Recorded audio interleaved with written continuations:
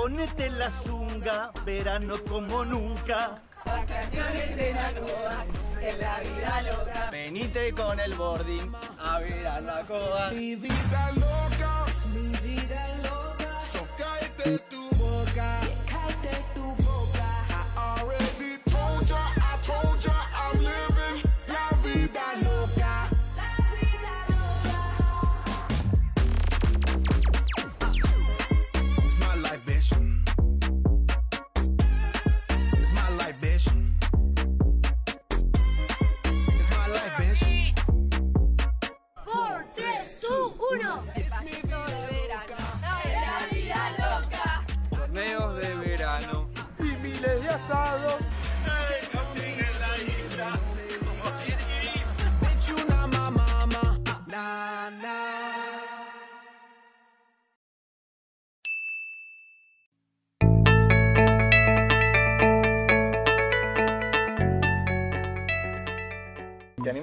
Presentarte? Bueno, yo soy Bernardo Bulgach, de profesión ingeniero especialista en siderurgia.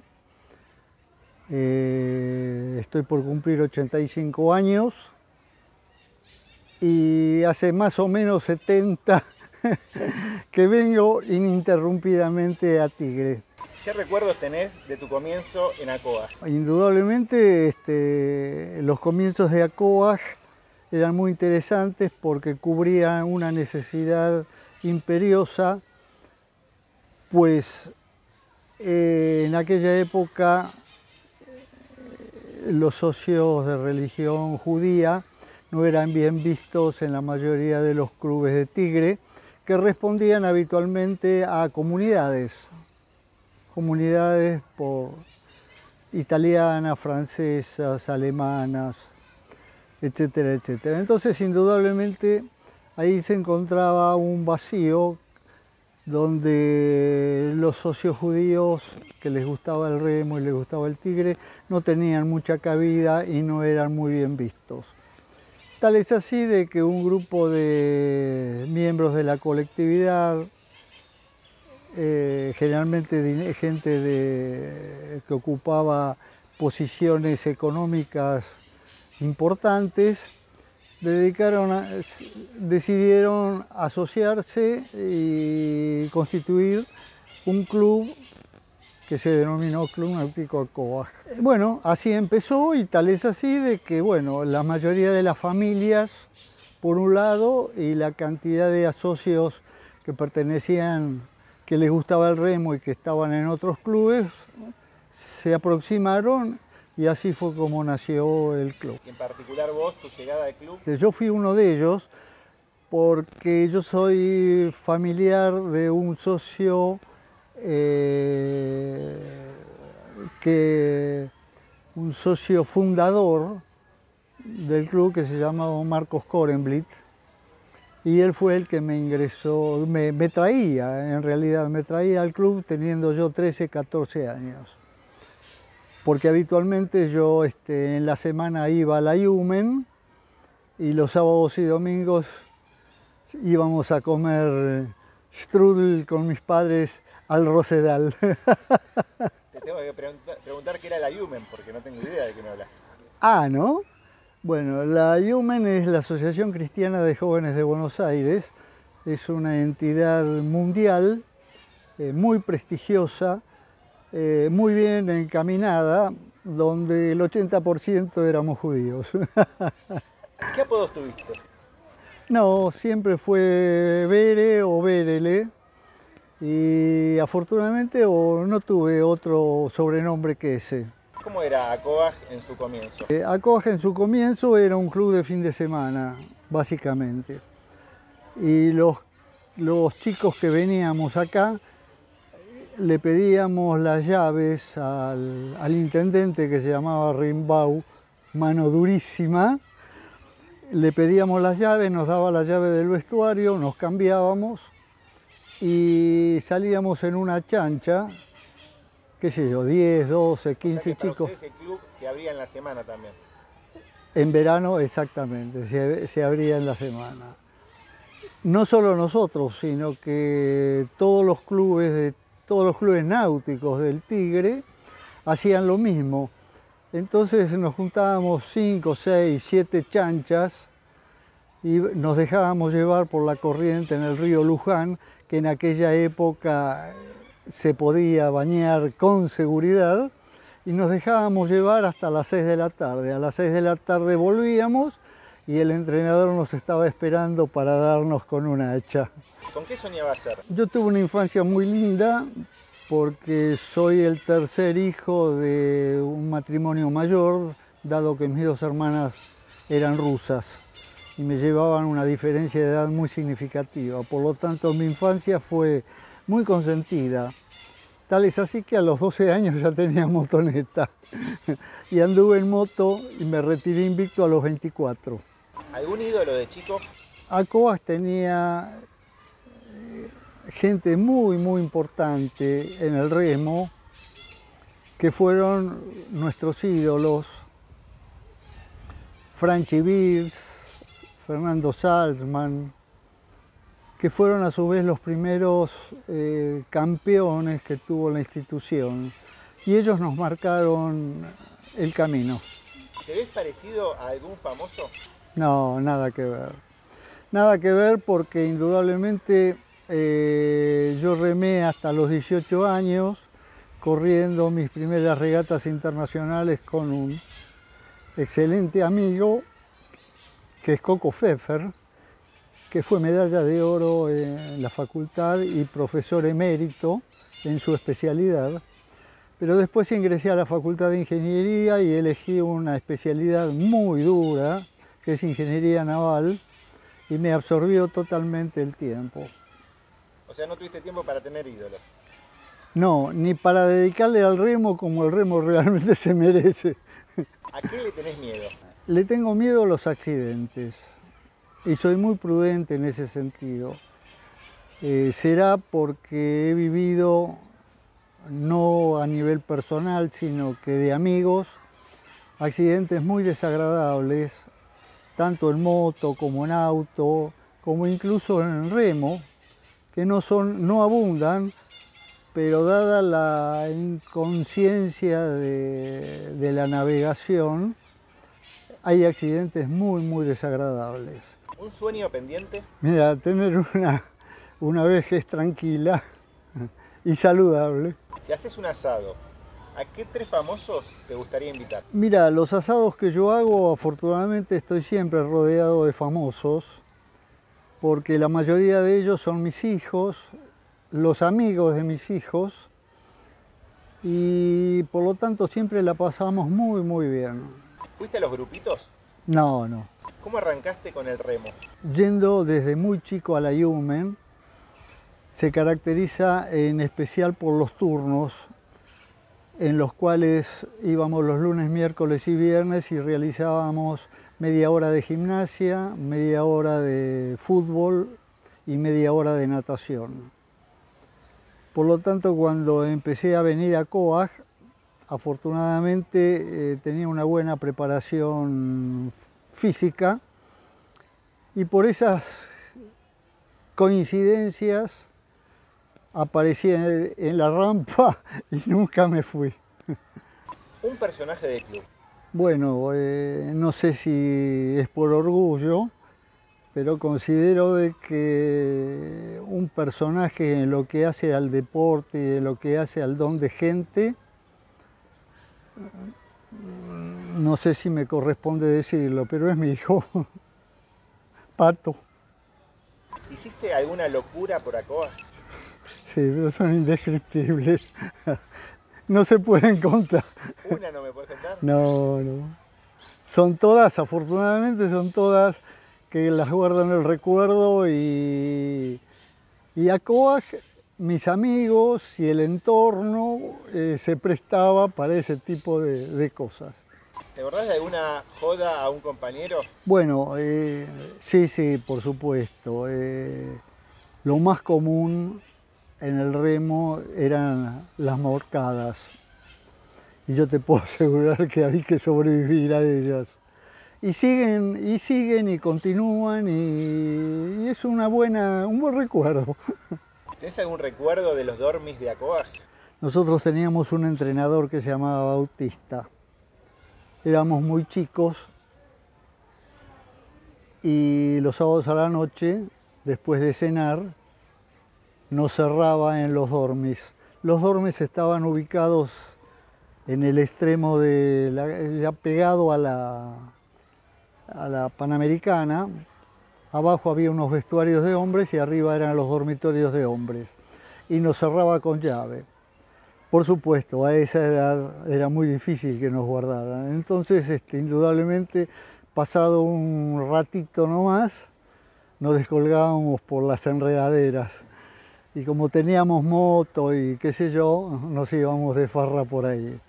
Tu hijo Gustavo me habló del valor que tenían los dormis en el sentido de que hacía que todos los deportes se unan, compartir cosas con otros deportes. Sí, todos terminaban en la pileta.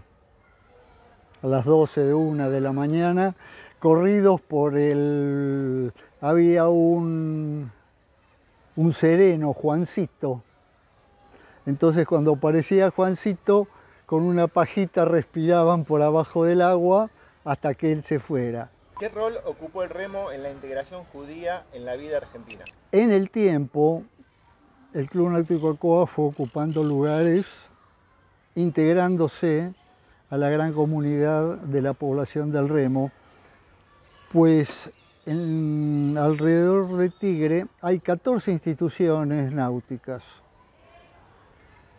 Entonces, eh, ACOAG, por la magnitud, por la forma en que es manejada y por la calidad de, lo, de la gente que ha remado, ocupó cargos y lugares muy, muy trascendentes en la vida del remo de, de Tigre. Porque no te olvides que Tigre es cuna del remo argentino. Entonces de acá en más se desarrolla toda la actividad náutica. Va, náutica y remo- de remo básicamente.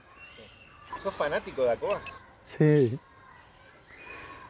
Tal es así de que he vivido en el Club de Campo un tiempo bastante importante y ahora estoy viviendo en los dormis de acá del club. Por lo tanto, este, estoy muy integrado al club. No fuiste a ninguna macabeada. ¿Qué pasó? Bueno, justamente hay un, hay un vacío en mi vida que fue la que yo le dediqué al estudio, al estudio de ingeniería, ingeniería naval básicamente, que es una carrera muy dura y que no me permitió desarrollarme en lo que hace al deporte y en lo que hace a COA porque me absorbía totalmente. Eh, después que me casé, mi señora me obligó a seguir estudiando y completé mis estudios de noche en la Universidad Tecnológica. Eso no quita a que en los primeros cinco años de casados hemos tenido cuatro hijos, varones. ¿Cuál fue el compañero más loco que tuviste? Sí, son varios, son varios. Había un grupo de amigos muy, muy lindos, al cual los recuerdo mucho y hoy lo sigo viendo. Hoy lo sigo viendo. Es muy larga la lista, tengo miedo de dejar amigos afuera. La regata que más recordás. Fue nuestro debut en el doble par novicio, donde la corrimos acá en Tigre, en aquella época se corría sobre el río Luján. Unos adversarios muy lindos y muy amigos hasta el día de hoy. Y este, largamos muy bien y el río doblaba y nosotros seguimos derecho. Por lo tanto terminamos arriba del Museo Naval. Amigos que te dio Acoa. Amigos que me dio, son imborrables y, y los guardo todavía. Y hoy siguen siendo mis amigos. ¿Me contás cómo el club llegó a tener una isla? El tema de la isla de Acoa surgió como una necesidad de los socios. Acoaje en ese sentido fue privilegiado porque la mayoría de los clubes no tienen dónde parar y los socios paran en cualquier lado y siguen siendo parias. Acoaje en ese sentido se destacó porque, por brindar muchos servicios y uno de los servicios es la isla, que tuvo muchos sinsabores y muchos vaivenes, tal es así de que con Eduardo Múnich, siendo él secretario de construcciones y yo capitán, eh, construimos lo que es la playita y todo lo que es el amarradero de botes y todo.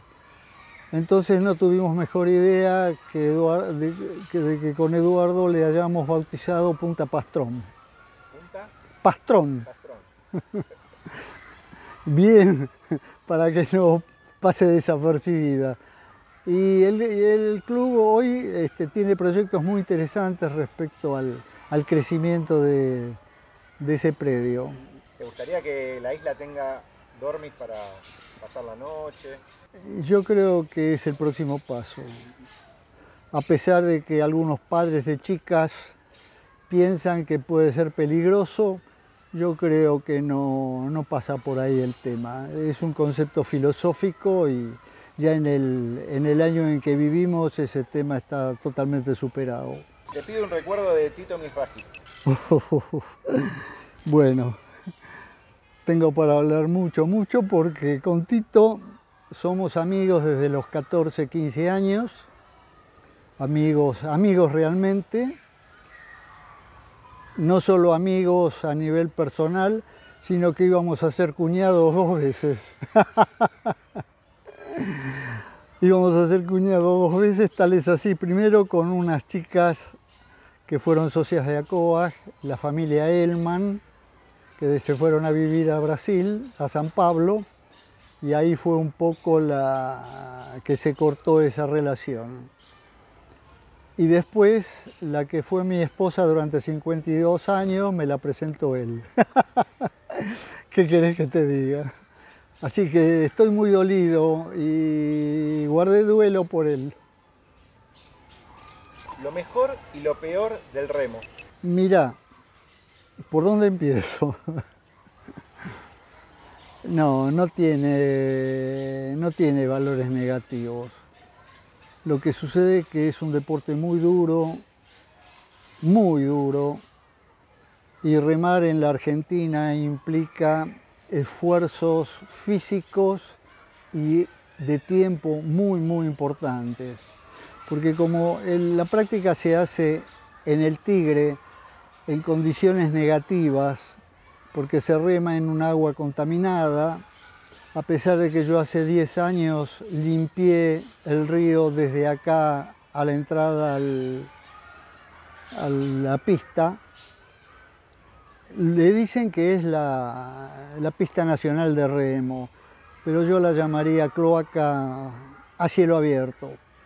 Entonces, este, indudablemente requiere mucho, mucho tiempo que posiblemente aquel que estudie o que trabaje no está en condiciones materiales de poder dedicarse al remo como el remo realmente necesita.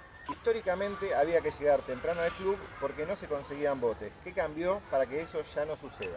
Exactamente. A las 8 de la mañana había que estar acá en- haciendo la cola en, en la casilla de botes y había un encargado que se llamaba Alberto Carzoglio, que estuvo muchos años con nosotros, excelente persona.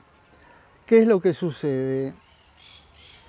Eh, las condiciones del remo se hicieron muy, muy duras y muy difíciles en lo que hace a la seguridad.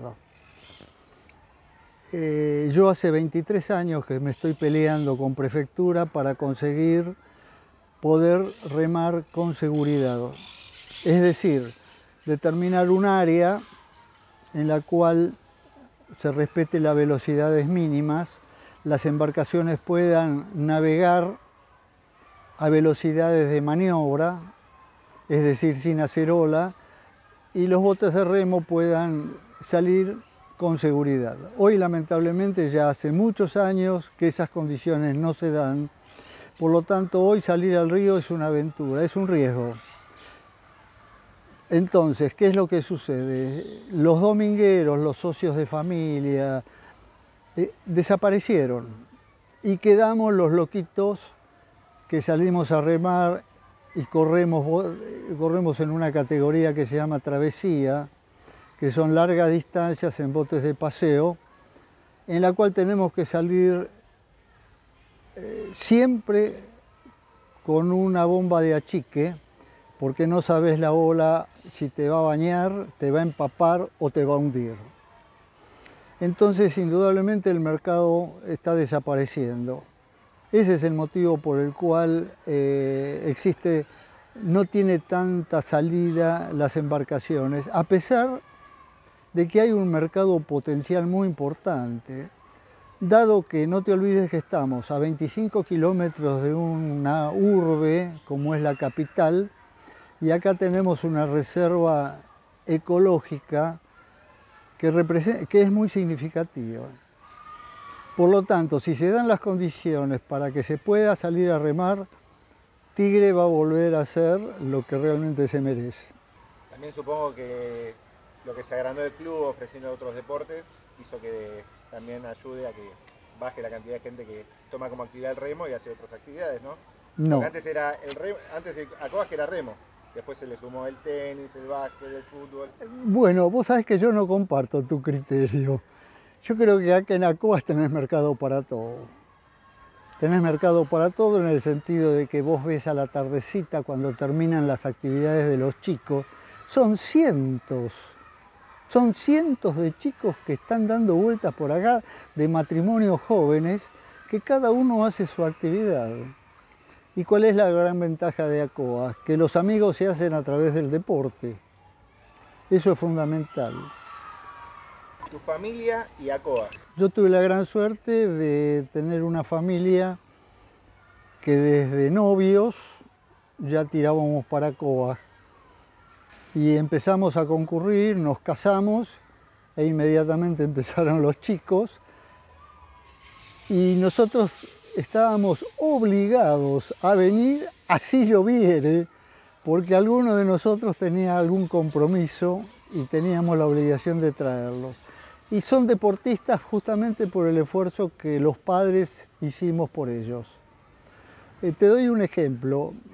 Eh, cosa que yo lamento mucho que eh, no haya un equipo de natación, donde eh, considero que la natación es el primer deporte que se debe practicar. Pongo una pequeña nota, la natación en el club está creciendo a pasos agigantados. Este verano no, no hay cupos, no se consigue cupos con la aplicación para los chicos que quieren aprender a nadar.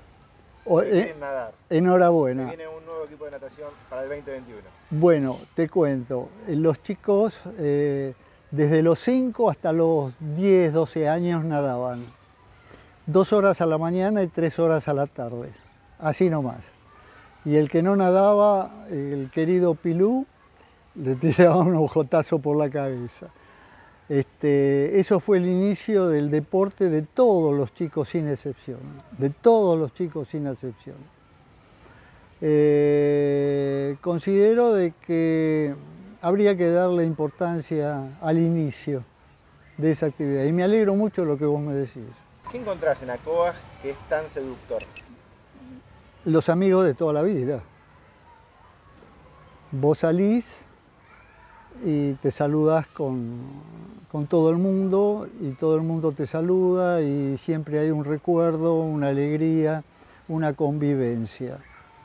Y yo lo veo en mis hijos, que hoy son grandes, que han dejado el deporte activo hace muchos años y vienen al club y se encuentran como en su casa. Tengo dos hijos que viven en el exterior. Uno es Gustavo en Los Ángeles y otro es Andy en Costa Rica. Y yo creo que extrañan más al club que a la familia. Con eso te digo todo. Un día en el club dijiste, Remo se retira. ¿Qué pasó? Oh, no, no, es, es lo más triste que me pasó en mi vida, en la institución. Bueno, eh, yo fui capitán por aquella época y los mejores deportistas y el mejor deporte se elegía en una reunión de... El día del deporte. Sí, en una reunión y elegíamos el día del deporte, cada uno eh, tenía su postulante, este, que sí, que no, que blanco, que negro, que cuatro, que cinco, que dos, que tres. Salíamos, salíamos este, con, los, con los miembros designados, porque indudablemente éramos todos amigos y todo. Pero hasta que apareció un presidente, que no tengo ningún inconveniente en decirlo, que se llama Mario Goisman, al cual me une una amistad muy allegada con el padre, dado que estuvo en mi bris, con eso te digo todo. Con Jacobo. Con Jacobo, exactamente. Y él, eh, él lo manejaba por decreto todo, él manejaba el club así por decreto, así no fue también. Bueno, tal es así que llegamos al día de, de la fiesta y él impuso sus delegados. Indudablemente conmigo esas cosas no van y menos una injusticia semejante. Entonces, indudablemente, le advertí al presidente que así no se actuaba, que había que actuar democráticamente, que esto, era, esto no es un club de propiedad de nadie, y que indudablemente eh, siguió adelante con sus principios. Bueno, llegó el día, llegó el día de la fiesta, juntamos todos los deportes, eh, fueron representados y no tuvo mejor idea que Mario Goisman decirle nombrar a los delegados o a los socios que fueron elegidos. Indudablemente no era un tema de los delegados porque considero que los delegados bien, mal o regular estaban bien elegidos. Lo que sí es el método y el procedimiento por el cual actuó un prepotente semejante. Bueno, ¿qué hacemos, qué no hacemos? Lo consulté con mi subcapitán y con los miembros de mi capitanía y en aquella época estaba el finado Simbo, Simberov, a cargo de las escuelas. Le dije, prepárate porque te voy a dar una indicación. Bueno, y ahí fue cuando Remo se retiró de la, de la, de la fiesta esa, que lo lamento muchísimo porque no, era, no es mi, mi intención ni mi forma de actuar de semejante manera. Pero te cuento como corolario, nuestro postulante al año siguiente fue elegido mejor deportista. ¿Cómo viviste el triunfo de Pato como medalla de oro en los Panamericanos de Indianápolis 87? Sí, sí, yo estaba acá y me llamó por teléfono y me avisó de, de su triunfo. Ese triunfo es muy meritorio. ¿Te vas a emocionar?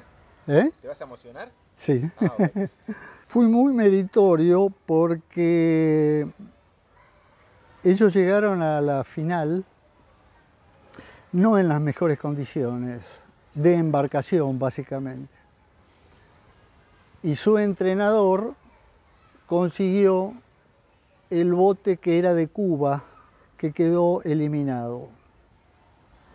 Entonces no le vamos a quitar mérito a los chicos, pero hubo una gran influencia de la embarcación en estos casos, que tiene, eh, es muy importante eh, en las regatas de ese nivel, de, a cualquier nivel. La embarcación es muy, muy importante. Y bueno, sigue siendo el máximo ganador de Ascoa. A pesar de cuántos van, 34 años. Pero yo te puedo asegurar de que tanto Pato como su compañero Marcelo Freige, esa medalla de oro le costaron cinco años de desfasaje en la facultad. Para que vos te ubiques lo que representa El esfuerzo de entrenar esfuerzo de. Sí, señor. Mucha gente a tu edad deja de ir al club. ¿Qué les dirías? No, es lo peor que pueden hacer. Porque es cuanto más necesitas de los amigos y de la actividad física. Yo creo que nunca hay que abandonar la actividad física porque es lo que te mantiene activo y, permanente. Eh, si no, eh, vos lo sabes bien, televisor, reposera, eh, caramelos, dulces, facturas y, y es negativo 100%. Entonces, eh, mi deportólogo, que es el que me orienta y el que me lleva, este, insiste que lo veo una vez por año, gra- gracias a Dios, eh, me recomienda eh, que jamás deje de, de hacer actividad. Y bueno, trato de cumplir con él. Cuando eras capitán de remo, ¿eras muy cuidadoso con los presupuestos a la hora de comer de toda la delegación? Bueno, yo tuve mucha suerte. Eh, tanto el tesorero como el presidente, eh, Roberto Maliar, que también estuvo en mi brisa y tenían negocios pegados al de mi padre en Canning, eh, el tesorero, nunca me negó más de lo que realmente correspondía. Sí, realmente. La pasábamos muy bien y era una manera de, de compensar los viajes que hicimos con los chicos, tanto el corto como los demás este, eran un grupo humano de primerísima, de primerísima, muy, muy responsables. Entonces a la hora de, de la comida, Pidan lo que quieran. pida, pida libre, que Bernardo paga. El club sigue creciendo día a día. ¿Qué obra te gustaría que hagan que aún no está? No, no creo que sea la persona más adecuada, pero indudablemente con la nueva generación de dirigentes, ACOAG está en el buen camino. Pienso que eh, no hay que, ni, ni una crítica constructiva se le puede hacer, porque pienso que está en el, en el muy buen camino, un grupo joven, con ideas renovadas y, y nosotros disfrutamos de- del esfuerzo que realizan los dirigentes. Te armaste una casa rodante que era toda una atracción cuando la llevabas al club.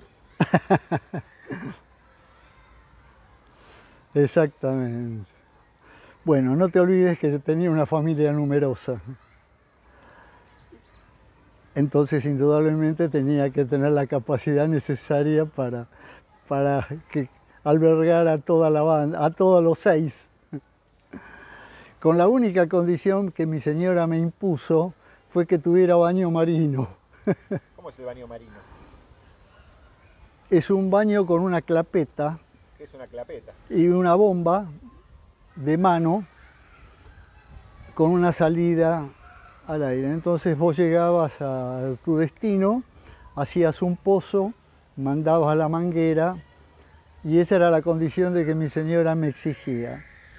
Este, hicimos viajes muy lindos y... Cuando te- la traías al club había la gente se acercaba a verla porque no era común ver una casa no, rodante, ¿no? no era común. Y aparte yo entre el 70 y el 90 tuve cinco rurales Falcon. Entonces volcabas el asiento de atrás y era una cama. Entonces la usé en la medida que uno, Andy, dormía atravesado y los otros tres a lo largo. Cuando ya no entraban más, que sacaban los pies para afuera, se acabó la casa rodante. Sí, la casa rodante me la hice yo eh, y la usamos muchísimo. Y fue una novedad, realmente fue una novedad. ¿Le regalaste una medalla al humorista Alfredo Casero? Alfredo es uno de los tantos hijos que tengo diseminados por allá, porque al margen de la relación que tiene con Gustavo, son socios en un campo. Y yo tuve una casa muy grande donde cada uno de mis hijos tenía un dormitorio. Entonces cuando la puerta estaba cerrada, ahí no se podía entrar. Eh, teníamos una heladera Domec, la más grande de todas, y, una, y un freezer llena de comida. Entonces funcionaba mi casa a las 24 horas. Alfredo incluso vivió en mi casa y es un hijo más de los tantos que pasaron por mi casa. La pregunta fue porque Gustavo me contó que a un asado le compartiste una medalla que habías ganado ese mismo día a Alfredo y Alfredo pensó que ya se la habías regalado. Cuando te fuiste le dijiste, no, no, dame la medalla. Alfredo, un gran personaje, una gran persona. ¿A un marinero lo convenciste para que vaya a vivir a la isla? Fue Alberto Carzolio, que fue a vivir con su mujer, en una casita que estaba ahora, que ahora ya está derruida. Él vivió hasta que falleció. Vivió muy bien y nos vino muy bien a nosotros porque estaba la isla cuidada, y, bueno, después siguió lo que fuere. ¿Fue fácil convencerlo para que deje? No, no, la vida en la isla es muy dura, muy dura, mareas, bichos, eh, no tenés agua, la luz viene de vez en cuando, dependés integralmente del continente. Entonces es muy dura la vida en la isla. Cada tanto se te ve entrenando en la cinta de gimnasio. ¿Te estás preparando para alguna regata? sí, sí. Bueno, eh, de cualquier manera hay un cronograma de regatas de travesía que se inicia el 15 de marzo. Con eso empezamos la temporada que es una regata mensual. Son seis o siete en el año. Tenés que estar muy bien entrenado porque mis compañeros son sumamente exigentes no son socios de ACOA. Uno es un expresidente de Marina, excelente remero y excelente persona, y el otro es un remero del Rowing Club argentino, también de primera. Así que la pasamos muy bien. Pero yo a fines de febrero necesito mi apto médico, fundamental, porque si no paso el apto médico no me sirve.